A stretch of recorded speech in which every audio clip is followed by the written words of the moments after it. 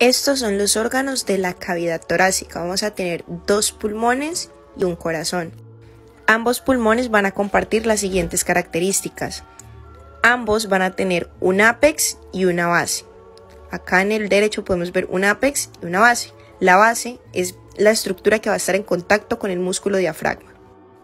El pulmón derecho se va a diferenciar del izquierdo por las siguientes características. En el pulmón derecho podemos encontrar tres lóbulos, un lóbulo superior, medio e inferior.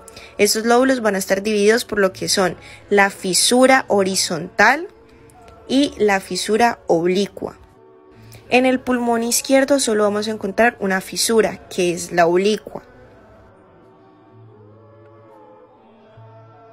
Y solo vamos a tener dos lóbulos, el superior y el inferior. Y vamos a encontrar una estructura llamada língula. Esa va a tener forma de lengua y se va a comportar como un lóbulo medio.